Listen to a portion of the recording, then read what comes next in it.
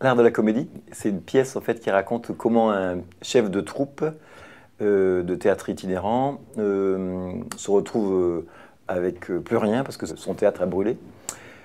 donc il va voir le préfet d'une petite ville de province qui vient d'arriver et il lui demande de l'aide.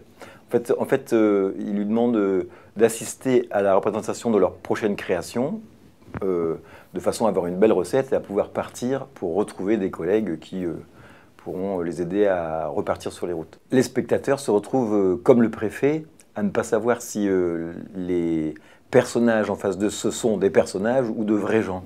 Ils sont dans un embarras et, une espèce d'angoisse assez comique. En fait, c'est une pièce qui, qui, dit que le théâtre peut dépasser le, réel. Enfin, c'est, euh, si vous voulez, euh, la problématique de qu'est-ce que c'est que le réel, que la fiction, mais vue d'une manière très concrète. Donc c'est une pièce pour comédiens avec des personnages qui sont très extravertis, excentriques, euh, qui sont assez invraisemblables. Enfin, c'est, une série de, de, personnages forts, de, numéros.